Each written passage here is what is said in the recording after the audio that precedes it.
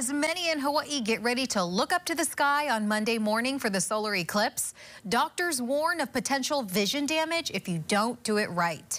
Max Rodriguez explains. If you oversleep, you might miss it. Starting around 6:30 in the morning Monday, the moon will begin to eat into the sun, partially covering it, and will go on for the next 45 minutes until the solar eclipse peaks at about 7:15 in the morning. Right around uh, sunrise time, go out, grab a beach chair, a blanket, have a breakfast out on the beach and enjoy it with the safe solar viewers. Experts say the Big Island is expected to get the most coverage during the solar eclipse, peaking at 34% coverage. Here on Oahu, they say the eastern portion of the island is expected to get the most coverage with just over 28%. Regardless of where you are in the state, doctors and astronomers recommend wearing the proper solar eclipse glasses. The filter on those glasses extra dark that makes it safe to look up at the sun.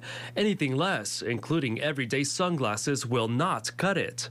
The sun's rays are so intense and so strong that if you're staring at the sun or looking at the sun, it can damage your eyes, specifically your retinas. But it is not just a cosmic phenomenon. University of Hawaii researchers are deployed throughout North America to experience the full totality to better predict solar storms and its impacts. If we had one of those today, it would be a global blackout, lose our satellites, lose internet, and we'd like to be able to protect our systems from that.